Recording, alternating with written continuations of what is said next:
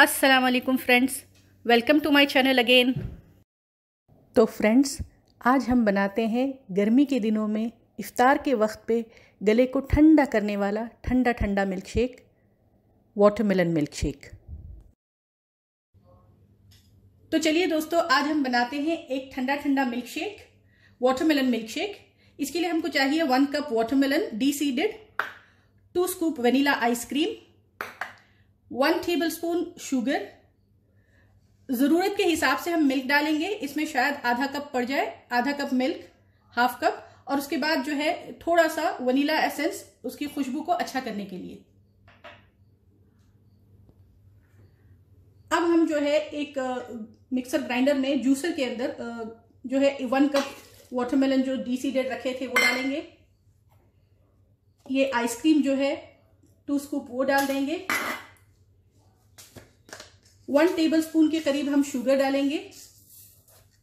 ये tea spoon है, इस वजह से मैंने टू एंड हाफ़ डाली है। उसके बाद इसमें थोड़ा सा वनीला डालेंगे। तकरीबन हाफ़ टी स्पून के करीब। और हाफ़ कप से वन कप के करीब जो है हम मिल्क डालेंगे। और अब इसको ग्राइंड कर लेंगे।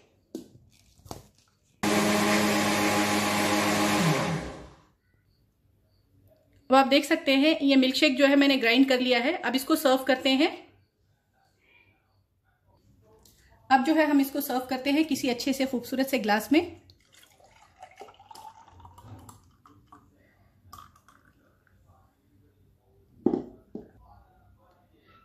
अब थोड़े से हम इसके अंदर वाटरमेलन के पीसेस भी डाल देते हैं, थोड़ी सी स्लाइस वाटरमेलन की।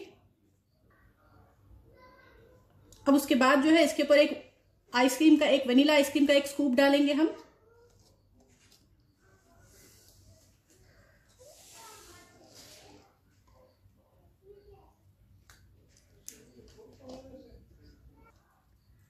अब जो है इसके ऊपर थोड़े से स्लाइसेस वाटरमेलन के डाल देते हैं। गार्निशिंग के लिए।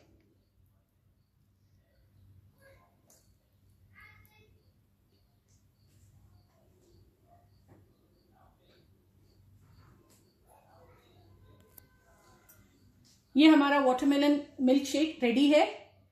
रमज़ान के इस महीने में गर्मी के वक्त पे, इफ्तार के वक्त पे जब आपको एकदम गर्मी लग रही हो, ये ठंडा ठंडा मिल्क शेक आपको बहुत मज़ा देगा, बहुत अच्छा लगेगा। इसको घर पर ज़रूर बनाइए। तो कैसा था वाटरमेलन मिल्क शेक ज़रूर बनाइए और कमेंट कीजिए।